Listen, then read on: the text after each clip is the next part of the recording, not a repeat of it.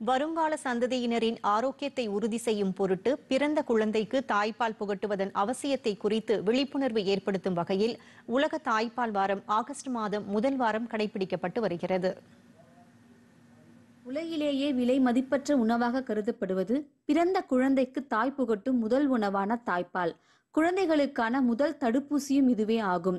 தாய்ப்பால் புகட்டுவதன் அவசியத்தை உணர்த்தும் விதமாக உலக சுகாதார அமைப்பால் ஒவ்வொரு ஆண்டும் உலக தாய்ப்பால் வாரம் ஆகஸ்ட் மாதம் முதல் வாரத்தில் கடைபிடிக்கப்படுகிறது.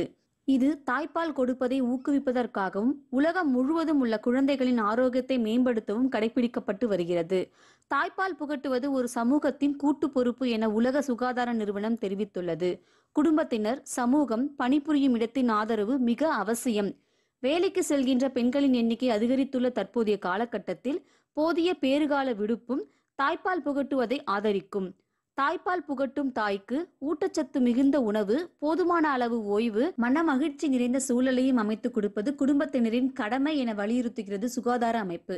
குழந்தைகளுக்கு தாய்ப்பால் கொடுப்பதால் நோய் எதிர்ப்பு சக்தி அதிகரிக்க செய்து பல்வேறு வகையான நோய்களை உருவாக்கும் அபாயத்தை குறைக்கிறது என திருப்பத்தூர் அரசு தலைமை மருத்துவமனை குழந்தை நல மருத்துவர் சக்தி கணேசன் தெரிவித்தார்.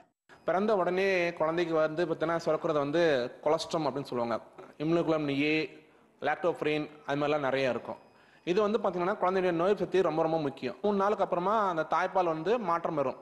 வளர்ச்சிக்கு தேவையான புரதங்கள் மற்றும் கொழுப்புகள் கிடைக்கும் கிடைக்கும். அப்பதான் வந்து குழந்தையோட எடை உடல் எடை வந்து கூடும். இந்த தாய்ப்பால் மட்டுமே கொடுக்குற குழந்தைங்க வந்து பார்த்தீங்கன்னா கிரானிக் டிசீஸ்னு சொல்லுவாங்க லாங் டேர்ம் டிசீஸ் அதாவது இந்த சக்கரை நோய் சில வகையான கேன்சர் கூட இதனால தடுக்கப்படுது ரத்த புற்றுநோயும் கூட இதனால தடுக்கப்படலாம். ஆறு மாதம் வரைக்கும் தாய்ப்பால் மட்டும்தான் கொடுக்கணும் தண்ணி கூட கொடுக்க தேவையில்ல. அது பேர் தான் எக்ஸ்க்ளூசிவ் பிரஸ்ட் சொல்லுவாங்க. ரெண்டு வயசு வரைக்கும் கொடுக்கலாம். தாய்ப்பால் நீங்கள் குறைஞ்சபட்சம் இரண்டு வயது வரைக்கும் கொடுக்கணும். மருத்துவர்களின் அறிவுரைப்படி தங்கள் குழந்தைக்கு தாய்ப்பால் புகட்டுவோம் என தாய்மார்கள் தெரிவித்தனர்.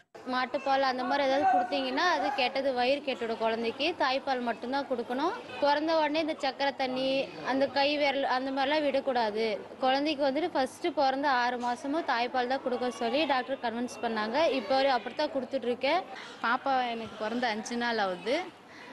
பிறந்து உடனே தாய்ப்பால் தான் கொடுக்க சொன்னாங்க.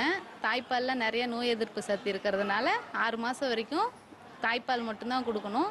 என் குழந்தைக்கு ஆறு மாதம் வரைக்கும் தாய்ப்பால் மட்டும்தான் கொடுப்பேன். வேறு எந்த பாலும் கொடுக்க மாட்டேன். அதில் தான் அதிகமான சத்து இருக்குதுன்னு டாக்டர் சொல்லியிருக்காங்க. டிடி தமிழ் செய்திகளுக்காக திருப்பத்தூர் அரசு தலைமை மருத்துவமனையிலிருந்து அனுராதா.